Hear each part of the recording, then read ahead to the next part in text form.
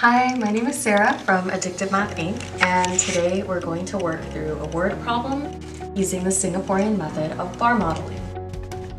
So we have a problem here that says there are eight more women than men at a meeting. There were 20 people total at the meeting and they want to know how many men were at the meeting. So we can solve this using algebra, but we can also use visuals, which works well with younger students or visual learners. And so we're going to use a bar model to work through this problem.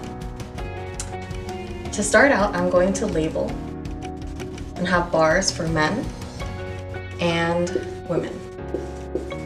Okay. So there are eight more women than men at the meeting. So there's some quantity of men, which we don't know. And then there are eight more women.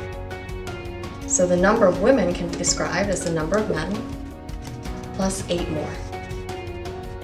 So I'll label this as eight right here. And then it says there were 20 people total at the meeting. So I'm going to draw a bracket and write the 20 up here to represent that the total of all of these quantities, known and unknown, is 20.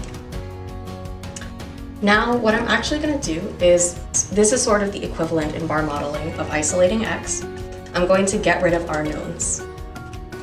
So I'm going to remove this bar right here that says 8. Since I've subtracted 8 from here, I have to update this also. Okay, so this is 20 minus 8. In other words, these two bars is equal to 20 minus 8. So we can simplify this and say that the two bars are equal to 12. And now we can see if we have two bars that are equal in length, and it's equal to 12, then each individual bar must be worth 6. So now we figured out what our unknown bar is worth. Let's redraw the diagram the way we had it before.